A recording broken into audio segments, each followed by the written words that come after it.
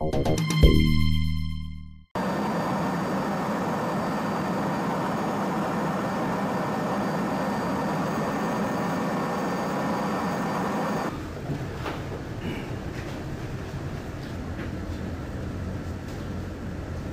droite 20. The operation is taking place in the following way.